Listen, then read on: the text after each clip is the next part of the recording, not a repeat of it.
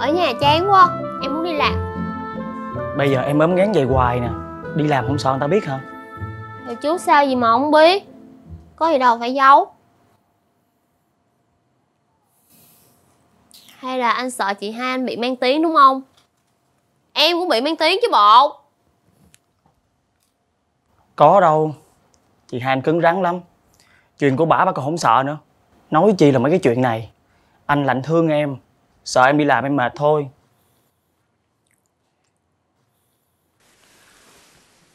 Ủa anh đi đâu vậy?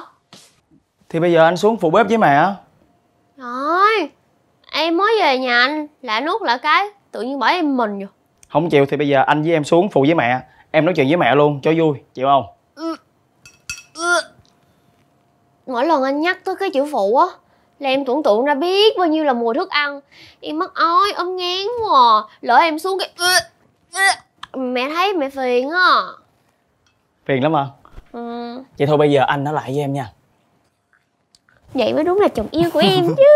Sao coi.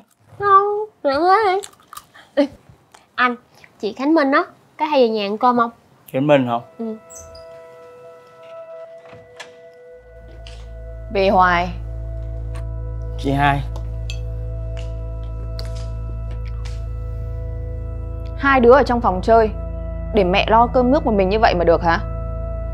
Chị hai Vợ em đang ốm ngán mà Với lại mẹ cũng biết chứ bộ. Ngén phải có giờ có giấc Đâu phải lúc nào cũng ngén Mà đang ăn táo ngon lành đó thôi.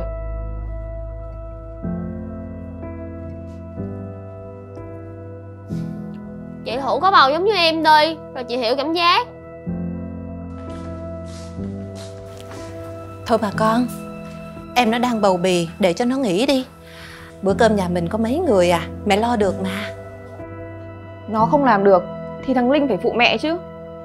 Mẹ cực khổ bao nhiêu năm chưa đủ hả? Mẹ lo được mà Không có sao đâu. Nè con Tại sao cứ mỗi lần về là um sùm vậy hả?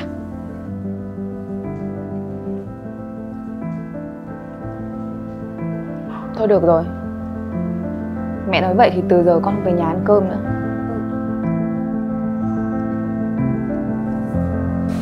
Con.